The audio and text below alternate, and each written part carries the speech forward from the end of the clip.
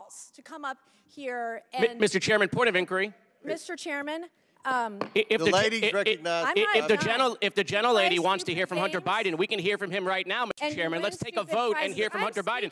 What are, you women afraid allowed of? to speak What are you here? hold on, hold on. Why- Order, why are order, guys not order. willing to let Ms. us Are Space, women Ms. allowed to speak in All here or no? Are, Okay. are women allowed to speak in here or no? Order. Because you keep interrupting me. I, I'll interrupt the You keep chairman. I don't know that he's a lady.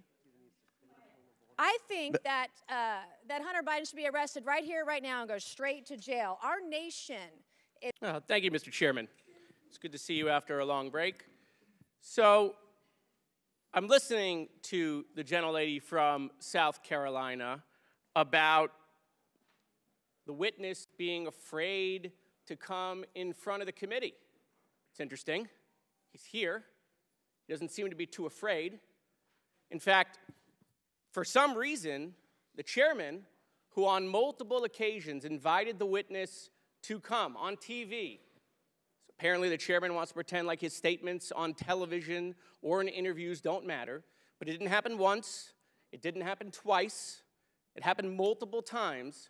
The chairman said the witness can choose whether to come to a deposition or to a public hearing in front of the committee.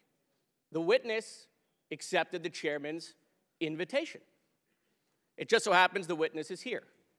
If the committee wants to hear from the witness and the chairman gave the witness that option, then the only folks that are afraid to hear from the witness with the American people watching are my friends on the other side of the aisle.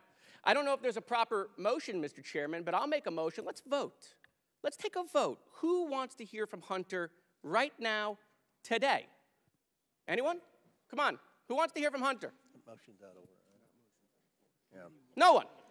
So I'm a visual learner, and the visual is clear.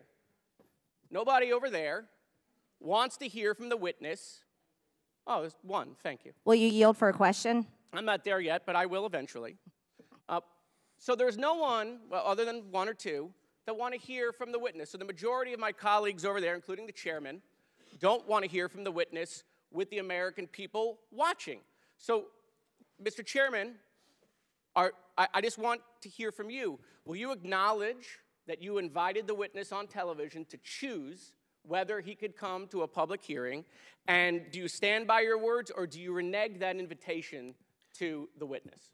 To answer the question, I've said repeatedly, the, after the deposition, Mr. Biden can come in front of a public hearing. Mr. Chairman, I don't want to play the video, but that is not what you said on television multiple times. Uh, we have the quotes. We can put them up. You said the witness can choose between a deposition Listen, or Mr. Moskowitz, Mr. Biden doesn't make the rules. We make the No, you- that, no, uh, Mr. Chairman, you make the rules.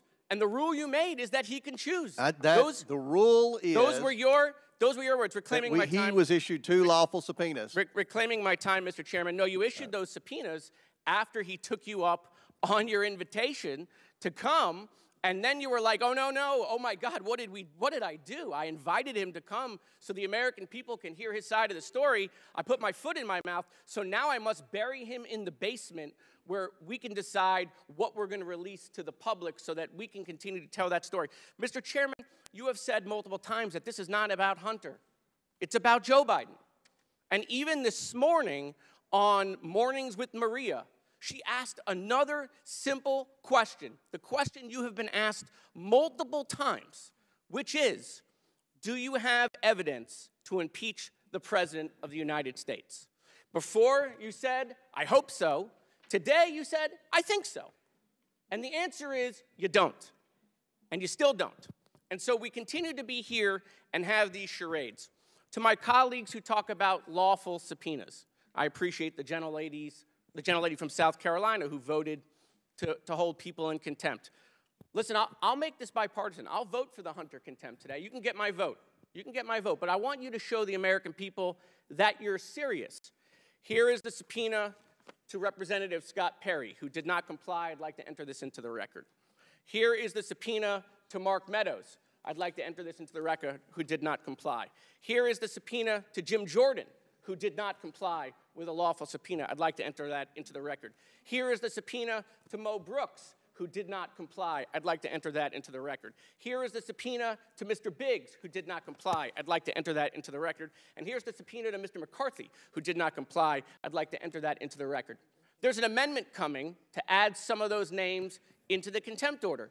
You vote to add those names and show the American people that we apply the law equally, not just when it's Democrats, right? It's a crime when it's Democrats, but when it's Trump and the Republicans, it's just fine. No, show that you're serious and that everyone is not above the law. Vote for that amendment, and I'll vote for the Hunter Biden contempt. I yield back.